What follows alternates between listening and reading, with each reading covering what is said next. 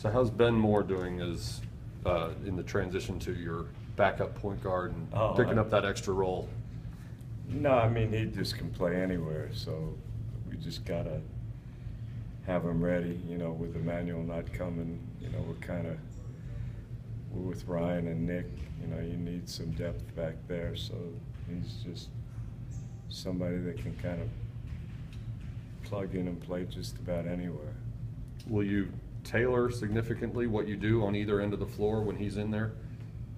No, I'm not smart enough to do that, to be honest. He, he just picks things up. He can, you know, we'll, we'll try to take advantage, you know, of some situations for him, but, you know, the, the hardest part is figuring out how to utilize, you know, all the things that he can do.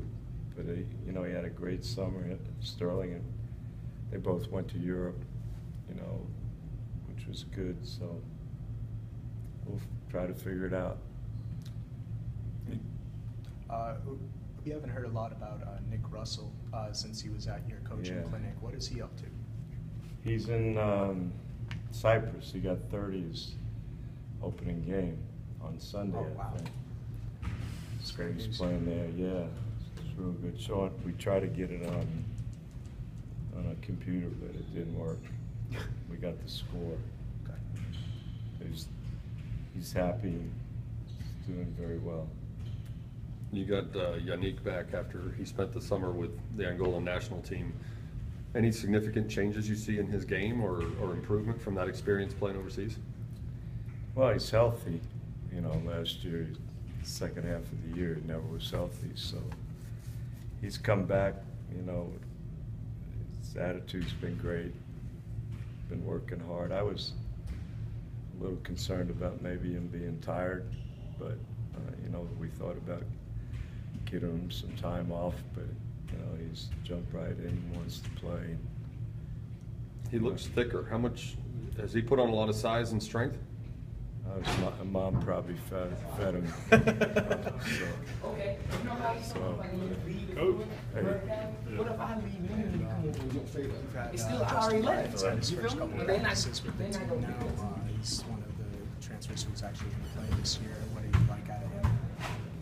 I mean, he's, you know, he's played for a great program, great coach.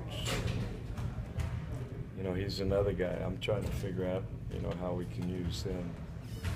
But uh, he's a great leader. He can shoot the ball. He can guard play multiple spots.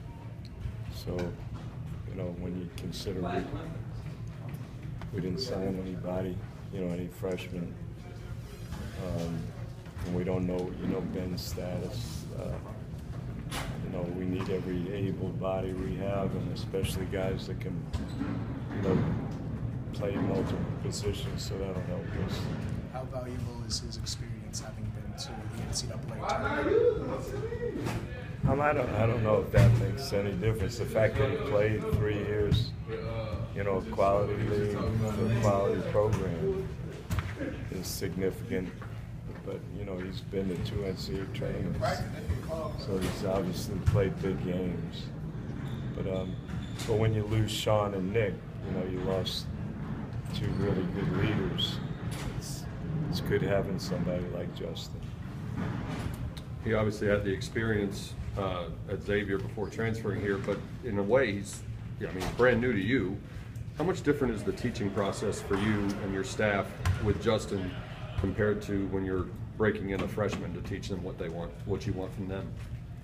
Uh, there's no difference because, you know, I think the things he was asked to do maybe at Xavier might be a little different than us. So, you know, the thing with him is I just want him to be able to, you know, play multiple positions and, you know, every day you go to practice, no matter who it is, you try to make him better and work on things that you think will help him.